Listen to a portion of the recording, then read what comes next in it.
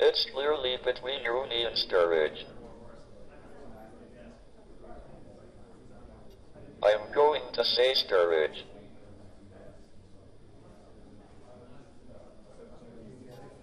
You don't need to be a great mathematician to work this out.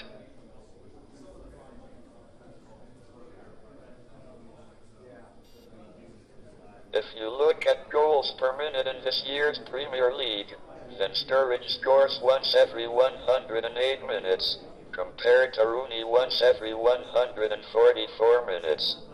The ratios were similar last season.